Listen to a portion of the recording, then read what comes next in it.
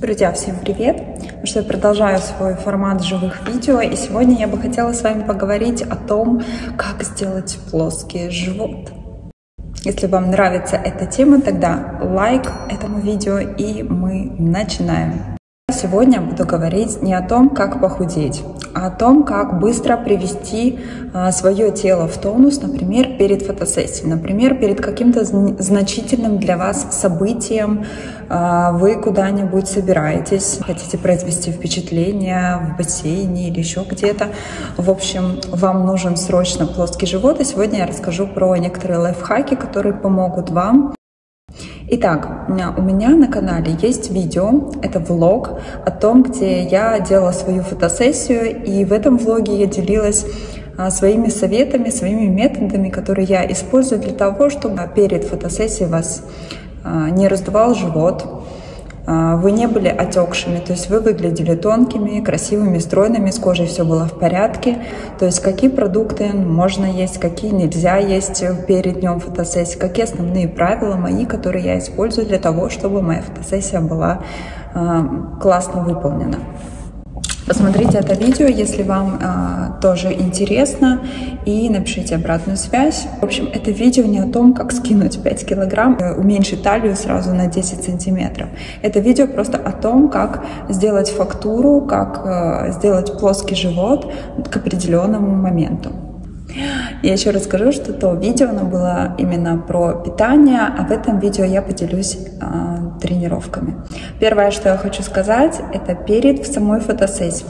Будем называть это фотосессией. В общем, перед каким-то важным событием, к которому вы готовитесь, вы не должны делать жесткие силовые тренировки. То есть вы не должны работать с отягощением, потому что любая работа с отягощением, она будет вызывать у вас отечность, то есть вы отекете. Отекете и в мышцах в теле, и отекете, возможно, в лице, и у вас будет дикий голод, поэтому э, моя такая рекомендация это не делать силовые перед фотосессией дня за два. Это в идеале.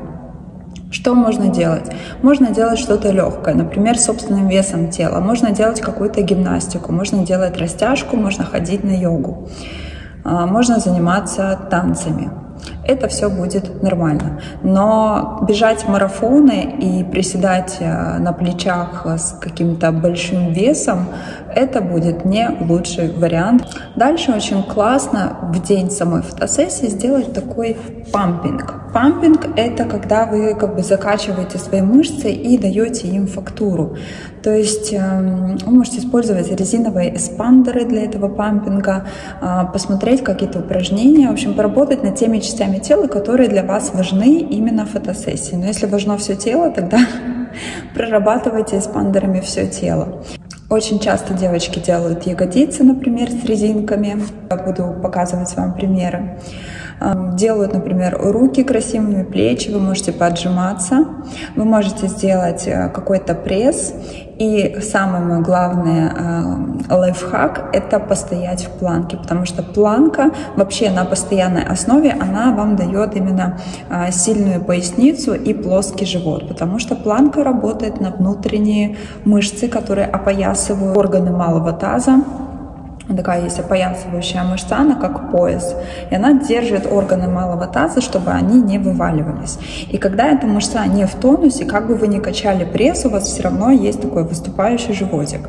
Поэтому планки решают эту проблему очень классно. И когда вы на регулярной основе, например, каждый день по минуте, по две, по три, иногда по пять минут стоят каждый день в планке, я так делаю. Когда вы стоите в планке, эта задача уходит сама собой. То есть вы можете одевать короткие топы и ходить в них, и не бояться, что у вас там что-то будет выпирать, ну, опять же, если вы находитесь в, своей, в своем весе, и вас устраивает свое тело, то есть вы достаточно худенькая, просто вам мешает и живот, делайте планки, и он пройдет. Но у планок есть несколько противопоказаний, которые я прикреплю сюда. Еще один важный момент, который я хочу затронуть, он взят, вот этот весь пампинг, он на самом деле тоже взят из э, фитнес-бикини, то есть из бодибилдинга. Бодибилдинг — это такая дисциплина в спорте, когда вы именно работаете над качеством, над, над фактурой и над красотой ваших мышц. И эти навыки, которые используют спортсмены, эти приемы, которые используют спортсмены, очень будут на руку нам, обычным людям, которые просто хотят классно выглядеть к определенному дню. Помогает доводить ваше тело как бы до такого, до совершенства. То есть все время его оттачивать. Итак, о чем я хочу вам сказать. Есть такое понятие, как прожимать мышцы.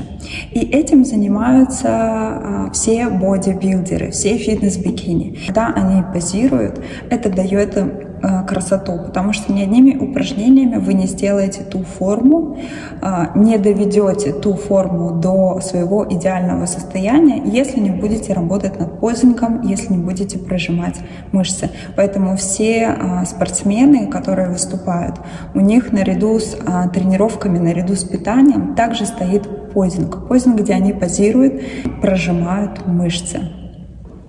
И я вам тоже советую начать прожимать мышцы, чувствовать мышцы по отдельности, прожимать их для того, чтобы создавать вот эту форму, фактуру и рельеф. И когда вы позируете, когда вы находитесь на самой фотосъемке, красиво смотрится, когда вы не просто стоите в расслабленном виде, а вы немножко напрягаете. Саму съемку где-то напрячь, то есть напрячь ягодицу, например, напрячь бицепс бедра. Но прежде чем это сделать, вам нужно порепетировать, потому что это не так просто просто как кажется. И вот вы можете это делать наряду с планкой, то есть напрягать мышцы и стоять в планке, и тогда ваше тело будет очень качественным, подтянутым.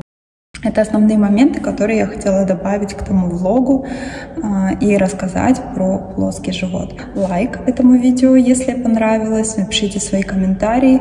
Э, если у меня будет что-то добавить, я обязательно напишу в описании. Мне кажется, я все сказала, то, что хотела. Спасибо большое за просмотр и увидимся на моем канале.